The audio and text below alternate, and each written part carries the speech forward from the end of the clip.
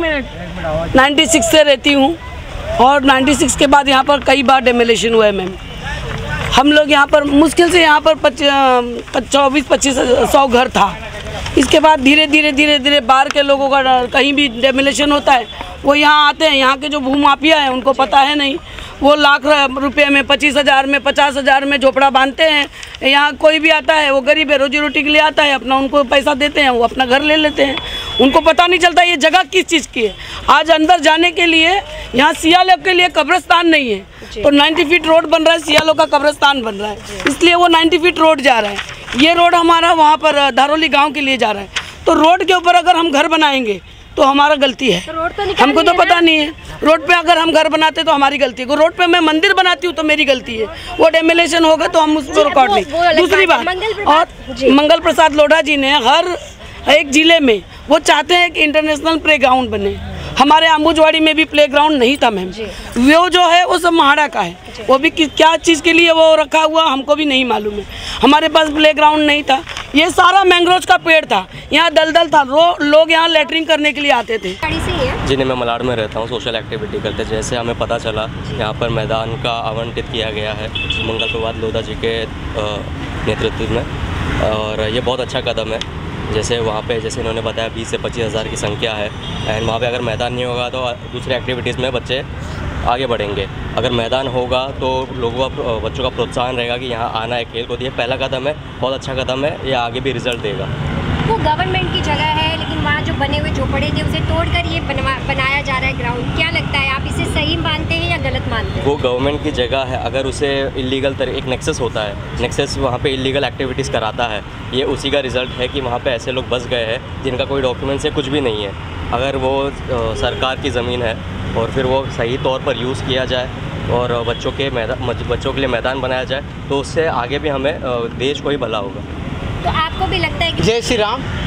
सबसे पहले मैं सनातनी हूँ और ये जो सरकार काम कर रही है ये युवाओं के ऊपर काम कर रही है। युवा तो इसमें युवा के ऊपर जो खेल पे मैदान बन रहा है, ये अपने इस ग्राउंड में बच्चे खेल करके और यहाँ से जाएँगे तो इंटरनेशनल पे खेल सकते हैं। इसलिए मैं खास करके भाजपा में, भाजपा सरकार को और मंगल प्रभात लोढ़ा जी को धन्यवाद देना चाहता हूँ कि उनके अर्थक प्रश्नों, प्रयत्नों से ये मैदान का काम हो रहा है और उन्होंने बहुत सारा योजना का इसमें संन्यास किया है। इसलिए मंगल जी का खास करके मैं धन्यवाद देना चाहता हूँ।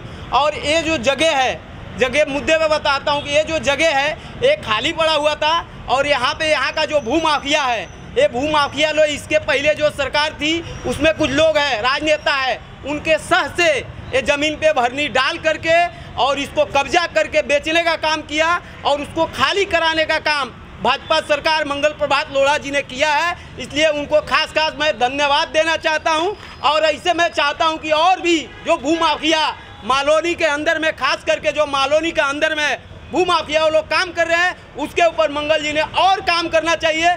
मालोनी के वहाँ पे पहले ना, वहाँ पे एक्चुअली खाड़ी के माफ़ी उधर पे बहुत गंदगी थी मैंग्रोव की जगह थी। तो आज जैसी सरकार आई, मैं तो बोलता सरकार का बहुत धन्यवाद करूँगा मैं। क्यों? जो वहाँ पे ये फ्यूचर में बच्चों के बारे में उधर सोचा गया कि प्लेट ग्राउंड बनाना, कुछ भी अच्छा कुछ, बहुत अच्छा लगा मुझे वहाँ पे बन रहा है। क्यों? आज हमारे को मालूम है अम्बूजड़ी की संख्या, बोले उधर अम्बू अम्बूजड़ी में संख्या बहुत ज़्यादा है और कोई लड़का को वहाँ पे मतलब वो एरिया में इतने बड़े इसमें एक भी मैदान नहीं ग्राउंड नहीं, कुछ भी नहीं है। अभी ग्राउंड के हिसाब से जो अभी जो बना है बहुत मैं तो बोलता हूँ बहुत उससे हम लोग बहुत खुश है और अच्छी बात है उसको बनना चाहिए। धन्यवाद करूँगा मैं मंगल प्रसाद लोढ़ा जी का जो ये मुद्दा उठाए इन लोग कुछ लोग वहाँ पर उसका जिनका घर टूटा है विरोध कर रहे हैं क्या उनका घर लगता है? वो बहुत समय से वहाँ रह रहे थे क्यों विरोध कर रहे हैं? एक्चुअली मैडम मैं आपको बोलता हूँ मेरा बचपना उधर गया है। मैं आज से नहीं मैं छोटे से बड़ा हो चुका हूँ वहाँ पे। वहाँ कुछ भी नहीं था।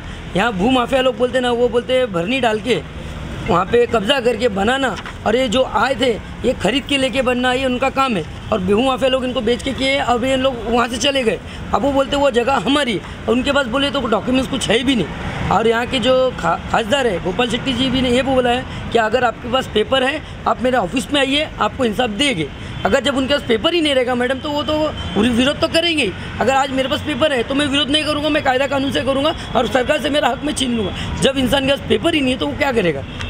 तो मंगल मंगल प्रभात लोढ़ा जी किसी को बेघर नहीं कर रहे हैं बल्कि बच्चों के लिए एक अच्छा कार्य कर बहुत अच्छा कर रहे हो। मैं तो बोलता बहुत अच्छा कर रहे हो काम जो कर रहे बहुत खास करके इतने बड़े ये मालूनी एरिया में इतना बड़ा एक प्रेंग मतलब ये बना है मैदान जो अच्छा। उसमें वो कबड्डी हो या कुछ भी रहो बहुत अच्छा मंगल प्रसाद लोढ़ा जी ने बहुत अच्छा काम किए उसके लिए बहुत दिल से धन्यवाद है हमारा। आप मंगल प्रभात लोढ़ा तो उसमें अभी मैं यहाँ पे सोशल एक्टिविटीज़ भी करता तो उसके कारण हम लोग को बहुत केसेस आते हैं। कॉलोनी में नशा का ये सब चीज़ होता है। युवाओं के लिए कुछ है नहीं करने के लिए। युवाओं सब कैसा होता है कि जो एजुकेशन भी प्रॉपर लेते नहीं फिर बाद में हम लोग नशा में चले जाते हैं। लेकिन उसी जगह मालवनी के उस जगह पे जहाँ पे लोग नशा की और जा रहे वो समय पे वहाँ पे खेल का एक गार्डन बनाया जाए और वहाँ पे स्पोर्ट्स को मतलब कि एक अच्छा अपॉर्चुनिटी दे बच्चे लोगों की, वो अपना अगर पढ़ाई अच्छा नहीं कर सकते स्पोर्ट्स के माध्यम से भी अपना फ्यूचर अच्छा बना सकते। अगर ये मंगल जी के थ्रू जो सरकार ने सोचा है तो उन्होंने बहुत अच्छा निर्णय लिया है और उसके लिए जितना हो सके उतना सपोर्ट करना चाहिए और उनका बहुत बहुत धन्यवाद करते हैं। और ये जो भी लोग विरोध कर रहे हैं, कि विरोध का वही उद्देश्य है, क्योंकि कोई अच्छा काम होता है कि आज से इतने टाइम से कुछ दूसरी सरकार थी, उन्होंने कुछ अच्छा काम नहीं किया, लोगों को सिर्फ़ नशा और फालतूगिरी के चक्कर में झगड़ा, ये सब चीज़ों में मालवनी का नाम होते रहा आज तक। नशा और झगड़े की ये सब चीज़ों में। लेकिन आज अगर खेल कूद और इंटरनेशनल लेवल पे अगर मालवनी के बच्चे लोग का नाम जा रहा है स्पोर्ट्स के माध्यम से तो वो चीज़ उनको, वो चीज़ खटकेगा, क्योंकि ये उनकी सरकार में नहीं हो रही है।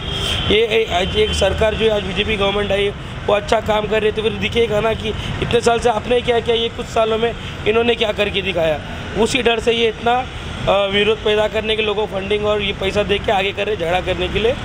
और कोई विषय नहीं है बाकी सब तो मैं मंग- खेल का मैदान कोई था अम्बुजवाड़ी में अभी नहीं अम्बोजवाड़ी में अभी तक कोई खेल का मैदान नहीं है। लगभग अम्बोजवाड़ी 20 से पच्चीस हज़ार की बस्ती है।